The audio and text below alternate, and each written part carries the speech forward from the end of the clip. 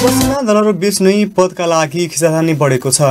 सत्तामा जाने र बाहिरिने पछिल्ला घटनाक्रमले आगामी वर्षको बजेट निर्माण प्रक्रिया मात्र नभएर चालु आर्थिक वर्षको बजेट कार्यान्वयनमा समेत प्रभाव प्रभावित बन्न पुगेको हो।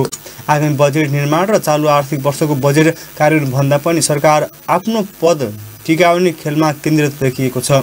पहिलो कार्यकालमा पुरै पाँच वर्ष एकै मुख्यमन्त्री पाएको सुदूरपश्चिम प्रदेश सभा दोस्रो कार्यकालमा भने अधिकांश समय कामविहीन बन्न पुगेको छ। सहकर्मी वीरेन्द्र भट्टको यो सामग्री नेकपा एमाले नेतृत्वको पहिलो सरकार विश्वासको मत प्राप्त गर्न नसकेर एक महिनामै टलेपछि सुरु भएको सुदूरपश्चिमको अस्थिरता अहिले आएर नेताहरू पद मोहको चक्रव्यूहमा फँसेका छन्। नागरिक उन्मुक्ति पार्टीभित्र त झनै किचलो छ। पार्टी अध्यक्षको निर्देशन मान्न सांसद तयार नहुँदा पार्टीभित्र भाँट भैलो छ। काङ्ग्रेसका अठारजना सांसद मध्ये मुख्यमन्त्री कमल बहादुर शाह र मन्त्रीहरू प्रकाश देउवा र शिवराज भट्ट बाहेक पन्ध्र सांसदले मन्त्री हुन पाएका छैनन्। काङ्ग्रेस नेतृत्वको सरकार यति बेला सङ्कटमा छ। प्रदेशको अर्को ठुलो दल माओवादी केन्द्र झन आन्तरिक विवादमा छ।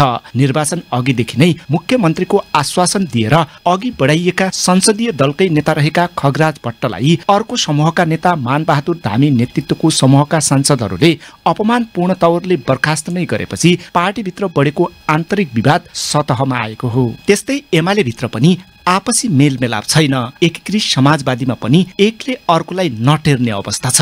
नागरिक उन्मुक्तिका नेतादेखि सांसदसम्म दुई समूहमा विभाजित छन्। पार्टी संरक्षक रेशमलाल चौधरी र अध्यक्ष रेशम पत्नी रञ्जिता श्रेष्ठ बीच मत भिन्नता गहिरिएको छ। नेता कार्यकर्तादेखि सांसदसम्म एकले अर्काको निर्णय विरुद्ध कदम चालिरहेका छन्। रेशम पक्षधर काङ्ग्रेस नेतृत्वकै सरकारलाई समर्थन गरेर अघि बढ्ने पक्षमा देखिएको छ भने रञ्जिता केन्द्रमा बनेको नयाँ समीकरण अनुसार प्रदेशमा काङ्ग्रेस सरकारबाट समर्थन झिकेर नयाँ सरकार बनाउन सघाउने लाइनमा छिन्। नागरिक उन्मुक्तिको केन्द्रीय कमिटीले बुधबार काङ्ग्रेस नेतृत्वको सरकारबाट समर्थन फिर्ता लिने निर्णय गरेको चौबिस घण्टा नबित्दै सोही पार्टीको संसदीय दलले विद्रोह गर्दै संसदीय दलको निर्णयमा यसअघि बिना विभागीय मन्त्री बनेका दुईजनालाई मुख्यमन्त्री शाहले बिहिबार कार्य जिम्मेवारी दिएका छन्। घनश्याम चौधरीले बुधबार नै पार्टीको निर्णय नमान्ने र अहिलेकै सरकारलाई समर्थन रहेको प्रतिक्रिया दिएका थिए। बिना विभागीय मन्त्री रहेका लक्ष्मण किशोर चौधरीलाई सामाजिक विकास र खुसीराम डगौरा थारूलाई उद्योग पर्यटन वन तथा वातावरण मन्त्रालयको जिम्मेवारी दिइएको छ।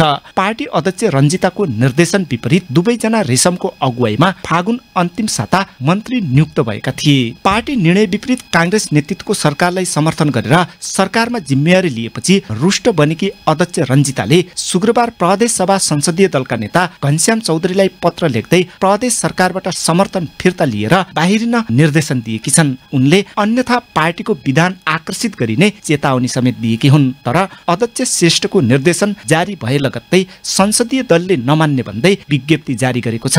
नागरिक उन्मुक्तिका केन्द्रीय संस्थापक सदस्य समेत रहेका सामाजिक विकास मन्त्री लक्ष्मण किशोर चौधरी संस्थापक केन्द्रीय सदस्य लक्ष्मण बहादुर चौधरी र केन्द्रीय सदस्य दामोदर पण्डितले बैठकको निर्णय नमान्ने बताएका हुन्।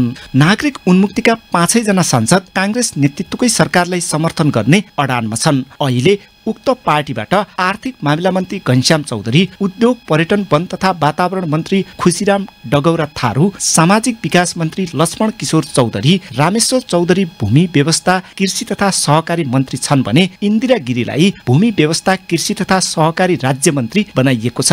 सभामुख सहित माओवादीका एघार एमालेका दस र एकीकृत समाजवादीका चार सांसद छन्। सरकार गठनका लागि सत्ताइस सांसदको आवश्यकता पर्छ। काङ्ग्रेसका अठार नागरिक उन्मुक्तिका साथ रापरबा एक र एकजना स्वतन्त्र सांसदले साथ दिएमा सत्ताइस जना पुग्ने गणित मुख्यमन्त्री शाहको छ। दिनेश खबरका लागि वीरेन्द्र भट्ट धनगढी।